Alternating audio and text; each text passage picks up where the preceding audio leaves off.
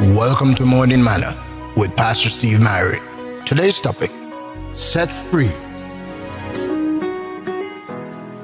Go sell the oil and pay thy debt, and leave thou and thy children of the rest. 2 Kings 4 7. In the Old Testament days, if you couldn't pay your bills, your creditor took your children and made them work off the debt. The widow of a prophet was in that position, but she turned to the man of God. And that's always a wise move because if you can hear from a messenger of God, you can hear from God. The prophet asks her, in effect, What have you got? God always uses what you've got to create what you need.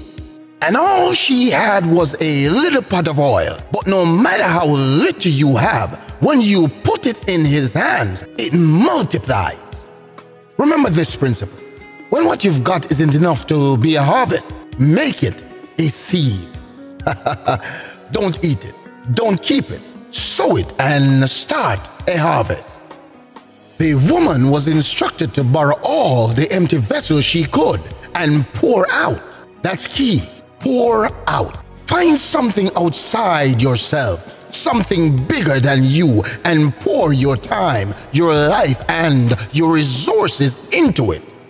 The oil from the little pot kept pouring out until her debt was paid and her children were redeemed. And listen, listen, the character of God never changes. Today, He wants to lift your burden, cancel your debt, and set you free to really live. The thought for today take a few moments and talk to him about it. He'll tell you what you need to do. God bless you today. In Jesus' name. Please remember to like and subscribe to my page on YouTube. Your support is much appreciated.